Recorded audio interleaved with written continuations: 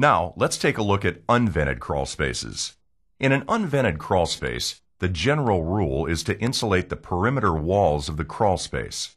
This eliminates the need to separately insulate the water pipes and heating ducts.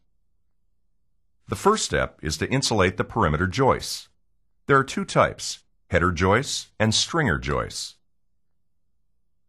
Header joists run across the ends of the floor joists.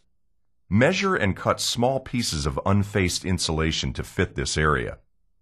Completely fill the spaces enclosed by the subfloor, sill, and floor joists. Then insulate the walls beneath the joists. Using furring strips, nail lengths of standard batts or the wider basement blanket insulation to the sill. Furring strips are used to nail the insulation to the edge of the sill plate. The insulation should be cut long enough to hang down the wall and extend two feet into the crawl space. It can also be installed horizontally in the same manner. Stringer joists run parallel to floor joists. The stringers and the walls beneath them can be insulated in a single step.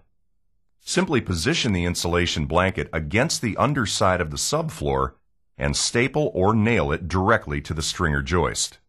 Or the blanket can be attached to the top of the sill and smaller pieces can be wedged between the sill plate and subfloor. This technique takes longer but provides better thermal protection at the joist.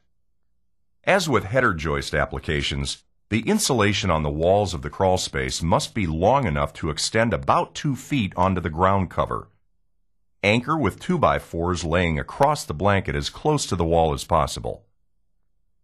An alternate way of fastening basement blankets to the walls and crawl spaces is using a Hilti type gun to drive the fasteners into the concrete. In all cases, all pieces of insulation should be tightly butted together. Be sure they fit snugly, without gaps between them. Taping is not usually necessary.